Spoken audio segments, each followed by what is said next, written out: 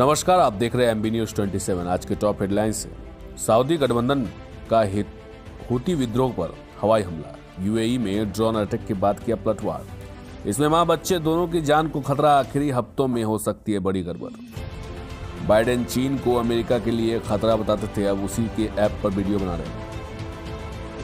इक्कीस पॉइंट सतहत्तर लाख नए संक्रमित मिले, बयालीस सौ तेईस लोगों की मौत। इसराइल ने घटाया आइसोलेशन पीरियड चीन में लगातार पाँचवें साल भी गिरी जन्म दर। 2021 में आबादी पाँच लाख से भी कम बढ़ी। चुनाव के ऐलान के बाद यूपी यूपी में भाजपा कार्यकर्ताओं से पहली बार आज बात करेंगे पीएम नरेंद्र मोदी। दिल्ली में यूपी समेत इन राज्यों में जारी रहेगी ठंड। इस दिन में बारिश से और बढ़ेगी सर्दी।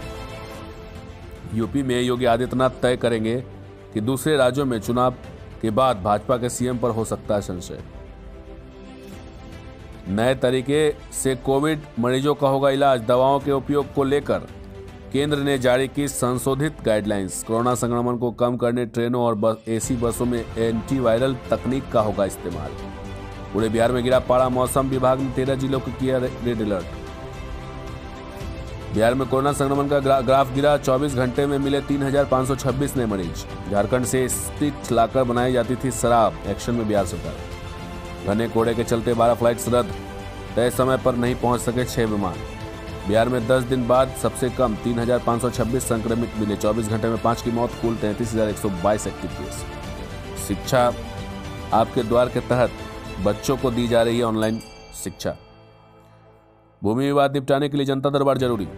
दो बार विधायक बने भोला राय नहीं खरीद पाए दो गज ज़मीन। देवानंद झा स्मृति क्रिकेट टूर्नामेंट में पूर्णिया ने हरियाणा को 25 रनों से हराया। ज़िले में संक्रमण, कोरोना सड़सठ नए मामले। बन रही हमारे साथ और देखते रहिए एमबी न्यूज़ ट्वेंटी सेवन नमस्कार।